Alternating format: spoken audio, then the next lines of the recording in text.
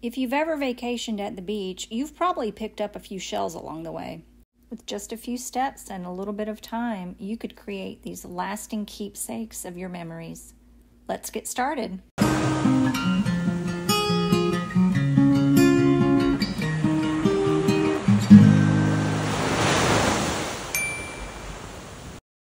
First thing we want to do is make sure our shells are clean and I have pre-mixed some KS resin liquidy split. It's about 10 milliliters. And I've also put in a small amount, about a quarter of a teaspoon of Sesso mica powder in silver white. And I am just taking my finger and I am painting this. It really is, it's finger painting. I'm painting this inside of the shells. And it's a thin layer, but it's pearly white and it's so gorgeous. And look at how that shell on the left has those neat uh, ridges. And I think this is just, there's barnacles from being in the ocean for so long.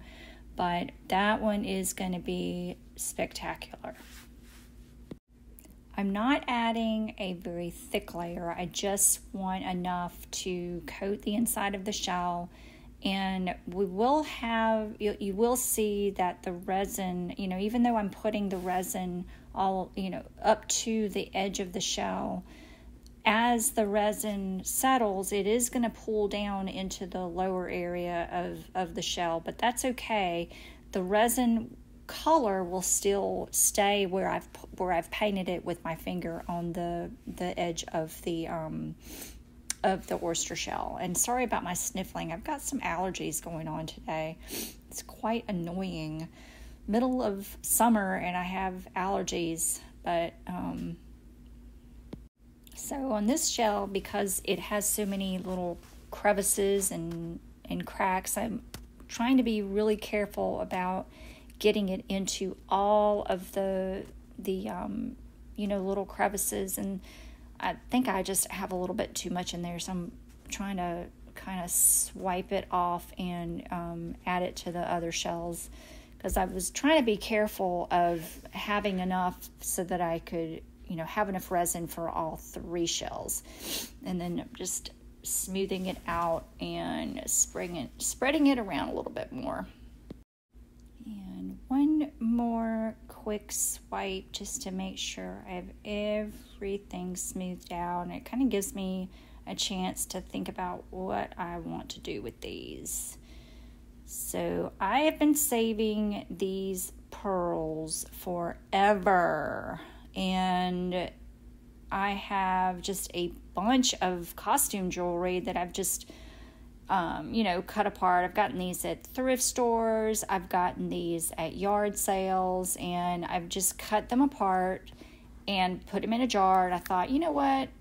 I think this would be a perfect use for these. And so this little craggly shell, I'm just taking the the fake pearls and I'm putting them inside the little um like little crustacean parts of the sh- the shell. So, so almost like it came from nature that way. I don't know if I'm explaining that right.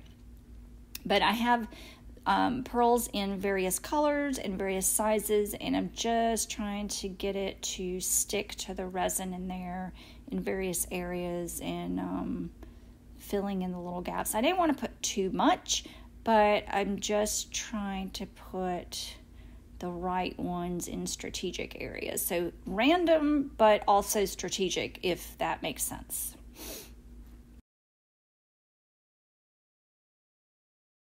I'm digging around for just the right one in there. I think I have like, I don't know, three or four different sizes of these um, these pearls. And every time I see them at the thrift store, I, I do snatch them up because you just never know when you might need to make a oyster shell ornament with pearls. Um, anyway, it's really fun. And now just one more, and you know, I have tinkeritis. I got to keep adding more.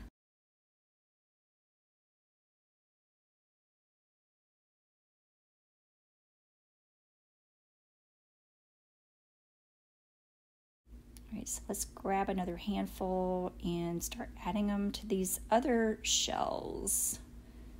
couple in there the big one, a medium one, and then the teeny tiny one, which is kind of a really neat uh, antique vintagey color, which is really cool. So that's enough of the pearls. And now I've got this, um, I don't know, it's just a bunch of these little teeny tiny shells that I've collected over the years at different beaches. Like when I go on vacation, I just pick up a, you know, you know how you always do when you're on vacation, you're just picking up random shells. And I think I got these in, I don't know, Mexico. And um, some of them are really teeny tiny. But I'm just putting these in random spots on the shell. And now my favorite part is adding a little bit of crushed glass. And this is just, I think this is um, this is from the Dollar Tree. These are bags of the fake sea glass that you can buy. And I have uh, crushed it with a hammer. I am going to do a video on how I've done that. And I'm just taking the smaller pieces of the crushed glass and adding it um, all over the shell. It just, this is really, really pretty. It I'm trying not to get the chunky pieces because I didn't really want it very chunky. So this is more of the, the fine pieces and it's just adding a little bit of shimmer and a lot of texture to the to the shell. Now I'm just going to let these sit until the resin is dry. So the resin is nice and cured and normally I would use my Dremel tool with a drill bit attachment to drill a hole in the top of the shell but these are so thick these are, um, I don't know, probably a quarter inch thick, and I just don't. I just don't want to drill a hole. That that's just too much. It would take forever, and it would be noisy, and I just don't have the patience for it. So I am having to rethink this, and I think what I'm going to do is use some UV resin and my raffia ribbon and att- use the UV resin to attach the raffia ribbon to the back of the shell. Now you could use a hot glue gun, but my personal experience with hot glue is on something like this, it's gonna dry out. The hot glue is gonna dry out and eventually get brittle and it could break. So the UV resin to me is a little bit more sturdy. Um, and because I'm selling these at an art and craft show, I, I definitely want something that's going to have some durability and some, um, uh, well, durability. I want it. I don't want it to dry out and have a customer come back the next year and say, "Hey, you know, give me my money back." So I love UV resin. It's so easy to work with. I haven't I've only started using it recently, so I'm I'm really pleased. This is a little kit that I got on Amazon. It's a Let's Resin is the brand, and it came with this little light, two bottles of resin, um, I think a little silicone mat, and a couple little cups and stuff. And I've never used it before until just recently, so I'm really happy. I think the kit was like I don't know, it was ridiculous. It was, I don't know, $14 or $19 or something like that. So, um, really super easy to use. And I guess you could also use E6000 maybe or a tacky glue or Gorilla Glue or anything like that. But the UV resin is just instant. Once you put that light on it, it I mean after a couple of seconds it's firm and it's it's going to stay there. It's not going anywhere. Um, so here I'm just adding a little bit extra to make sure it is stuck on there. And oops, got to turn it back on. Do that other one.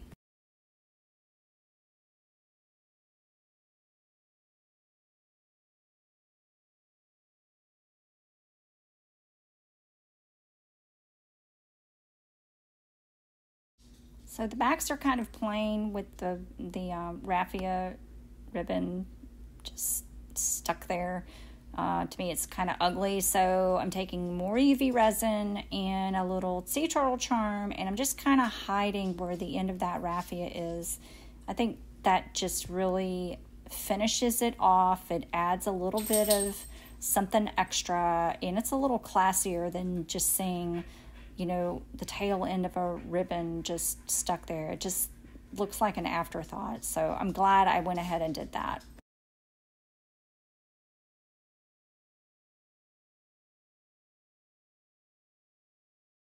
So we are almost done, but we're going to do one extra step to finish off the front now. And I like using paint pens to finish off the edges of the, the shells when I make them.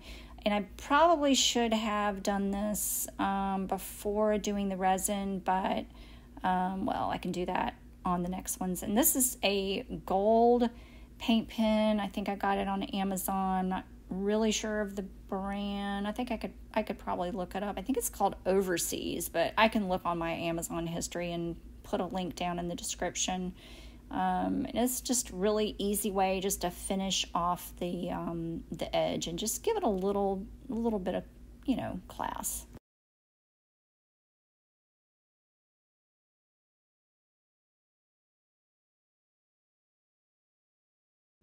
So I don't want to use gold on this last one. It just seems like silver is the right one for this one. So I'm using this other paint pen that I just got in. I'm not really crazy about using this one on the shells because it has a fine tip and I could use it for other things like drawing and um, but I would rather have a broader, fatter tip like my gold pen. And I, I have a fat tip silver pen somewhere. I just can't find it. So um, I will will keep this fine tip pen for other uses, but probably won't use it again for these shells. But it is a pretty color for sure.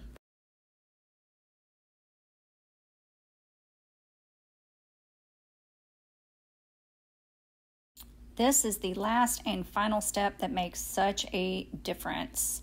It is plain paste wax, and you can get this at Lowe's, you can get this at pretty much any hardware store and look at the difference it makes. So the back of the shell is going to have kind of a chalky finish. It's not salt, it's just um, because shells are made from calcium, so it's just the I guess the calcium chalky calcium buildup. I don't I don't know how how else to describe it, but it's kind of like when you put stain or varnish on a piece of wood and it just makes the grain of the wood pop out. Well, that's what the wax is doing to these shells. It's just taking off that chalky, chalky finish. Um, you know, like when you wax your car and you put put the wax on the car and then you buff it out and it's you just gets shiny because you're taking off all of the you know the um, I don't know what is it called? Calcification? I don't know. Um, but anyway it just it really does make a difference. It's kind of hard to see in this picture but it really does make a difference. And you're just gonna rub it on there. Really that's all you do. Rub it on and rub it off. Wax on wax off. And here they are all finished what a fun project. It has really so many possibilities. You can use all kinds of little embellishments. You can get as simple or as fancy as you want. These are just really, really elegant and I love them. I appreciate you watching and I hope you learned something new today and become inspired. Thanks again. Bye.